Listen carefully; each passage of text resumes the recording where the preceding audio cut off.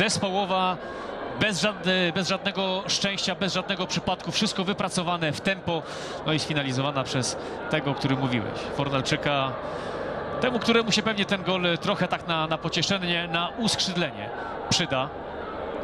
Wraca do, do zespołu i zaczyna, zaczyna go z bardzo pozytywnym e, akcentem. Tutaj doskonałe te prostopadłe zagranie w kierunku Kamila Grosickiego i na wślizgu finalizuje Fornalczyk.